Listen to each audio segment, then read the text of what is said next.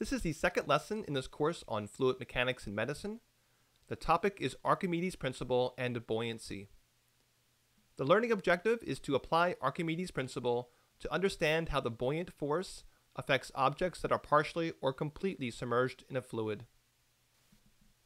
Archimedes' principle, named after the ancient Greek mathematician who, according to legend, discovered it while getting into a bathtub, states that any object, wholly or partially immersed in fluid, is buoyed up by a force equal to the weight of the fluid displaced by the object. What exactly does this mean? Imagine a glass or tank of water into which some object is fully submerged. One of the two major forces acting on that object is the force of gravity, pulling it downward, which we call its weight. You may recall from classical mechanics that the weight of an object is equal to its mass times little g, which is equal to the acceleration due to gravity as measured at the surface of the Earth. The other major force acting on the object is its buoyancy, or the buoyant force, which pushes it upwards. The buoyant force is equal to the density of the fluid times the volume of the fluid displaced by the object times g. Whether or not an object sinks or floats depends upon the balance between weight and buoyancy. Neutral buoyancy is a special situation in which an object's density is equal to the density of the displaced fluid. In other words, its weight is equal to the buoyant force.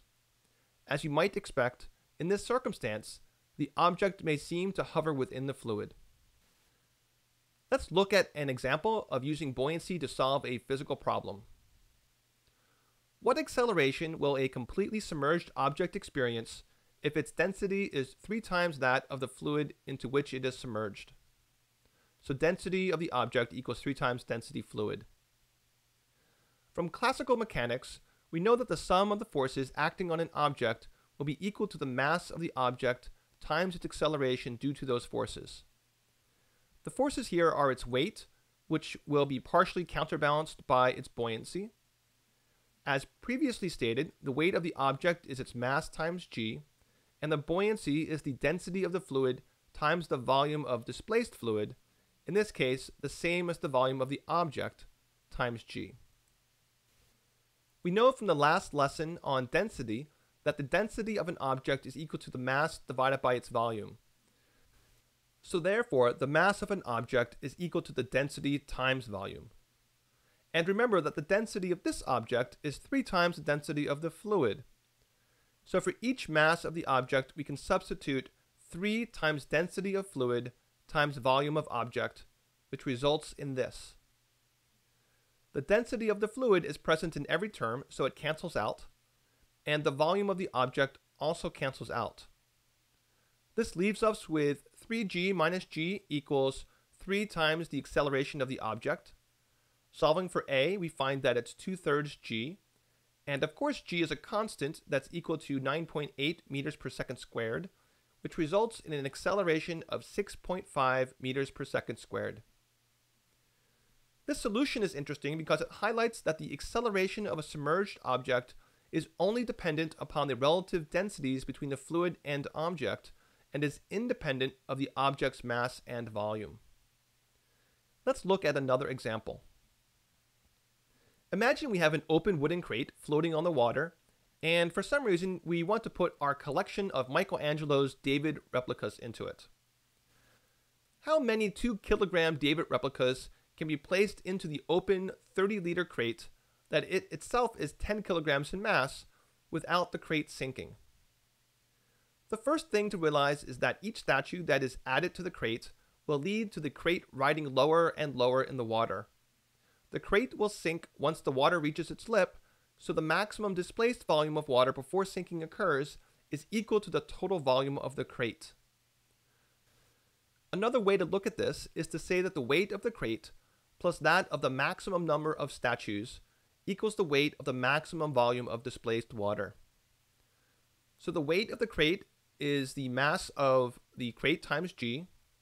The weight of the statues is n, where n represents the maximum number of statues, times the mass of each individual statue, times g. And the weight of the maximum displaced water is the density of water times the full volume of the crate, times g. As happens with many buoyancy problems, g cancels out. Now let's enter in the specific numbers. The mass of the crate is 10 kilograms, the mass of each statue is 2 kilograms. While we could calculate the product of the density of water and the volume in terms of cubic meters in order to get the water's mass, we could also use an important relationship from the last lesson. The mass of 1 liter of water is 1 kilogram. Therefore, the mass of 30 liters of water is 30 kilograms. Solving for n, we find that n is equal to 10. So with 10 statues added, the water level will reach the lip of the crate. In reality, since the water probably would not be perfectly still, some water would creep into the crate here and there, and once a little water had gone over the edge, the weight of the crate and its contents would increase, pushing it further down, resulting in an exponential increase in water accumulation until it sank within a very short time frame. So realize even if the math tells us our crate boat can handle 10 statues, you would not attempt that in real life. And speaking of real life, how does buoyancy apply in medicine? I don't know of any circumstances outside of diving medicine where one would need to literally calculate buoyancy. However, conceptually, buoyancy is critical to the body's functioning. One of the more important ways in which this is true occurs up in the head. So here's a skull, and inside the skull sits the brain, of course. What many people don't realize is that the brain does not just rest in the skull like it's sitting in some otherwise empty box. Rather, it's encased within a membrane containing something called cerebrospinal fluid, or CSF. The CSF has a number of functions, such as cushioning the brain during closed head trauma and serving as a microbiologic and physiochemical barrier. But the most crucial function is arguably related to the fact that the density of the brain is almost the same as the density of the CSF. This allows the brain to float within the CSF. In other words, it's an example of neutral buoyancy. Why this is so critical is that without the CSF and without the buoyant force on the brain, the bottom of the organ would get compressed by the overlying weight of the rest of it. This compression would cut off blood flow, leading to the death of neurons and eventually death of the patient.